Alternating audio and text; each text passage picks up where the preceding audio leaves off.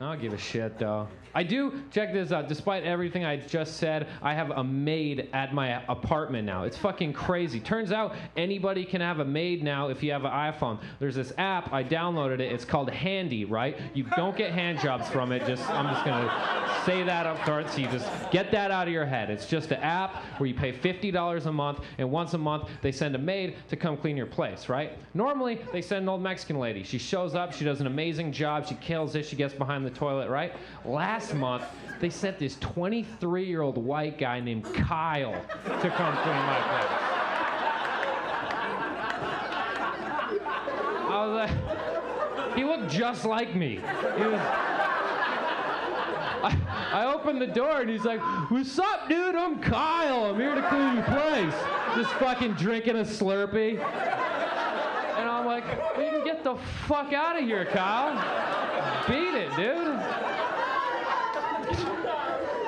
How did you fuck up white privilege that badly?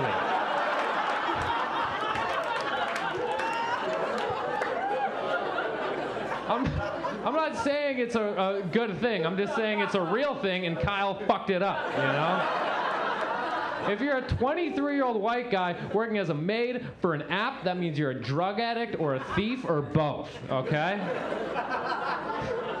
I had to follow Kyle around for the entire two and a half hours to make sure he didn't steal shit, dude.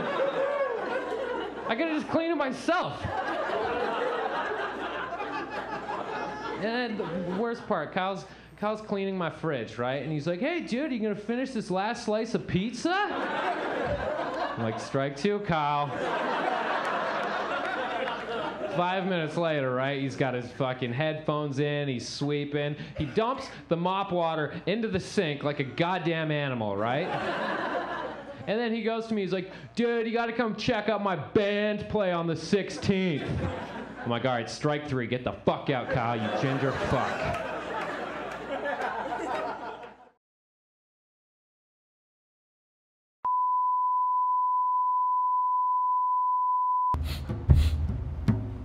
I know your secret. You're not the real Frank. You're tripping, dog. You're tripping. That's why you don't want the Peace Lords to find out.